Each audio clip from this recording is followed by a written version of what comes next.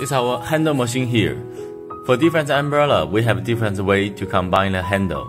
Some are using glue, some are using the high heat fixing machine. And as you can see, this is just uh, combined, very strong. After this work, we will combine the, we will put the hand, tag, hand tag on umbrellas. Like this.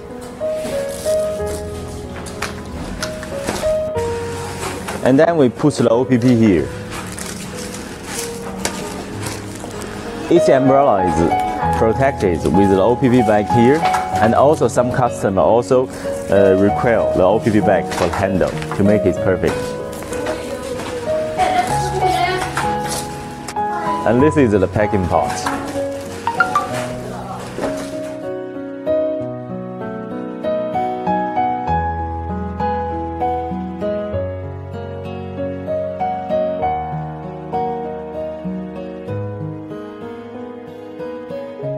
And now we are putting the inner box into export cotton.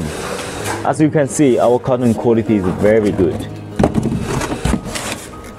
The five layer corrupted paper. And here we start.